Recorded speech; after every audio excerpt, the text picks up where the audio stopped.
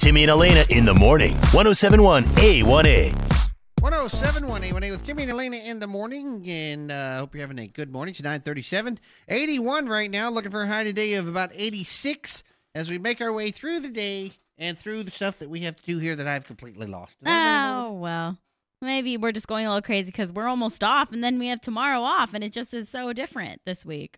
Everything's different. Everything People has are going on vacation Yeah, and maybe that's what it is. Or Big plans for the maybe- 4th of July? maybe we have a little stealing monster in here that we just don't see. I think that's probably what it is.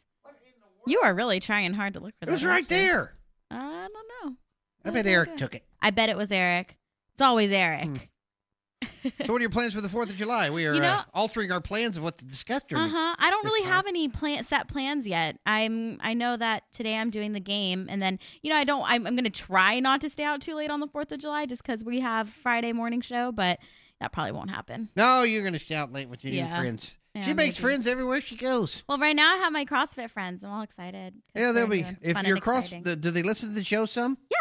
You're listening, you got about uh, three weeks Oh, with her, and then lies. she, she moves on to the next endorsement she's doing. No, stop it. I'm not doing an endorsement for CrossFit. Whatever.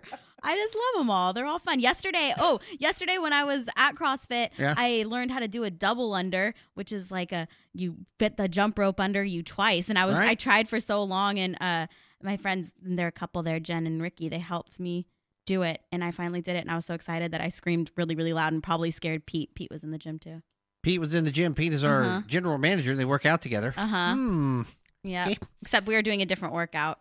Well, when you're over there today, there's a thing that I used to do when I used to work out. What? Uh, called the triple Lindy. Triple Lindy. Ask him about that over there. The triple Lindy. I mean, you reminded me of it when you said the double double under. double ender.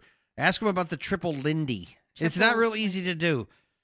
Okay. But I'll I mean, ask. I used to be in better shape than I am. Yeah, ask about it. Um, Write it or, down. or you can just do it and let me see you do it. I can't do it anymore. Ah. I can't do it anymore. wait. Okay. One more time. Triple. The triple Lindy. Triple Lindy. Yeah. Okay. I'll ask them. Let me know.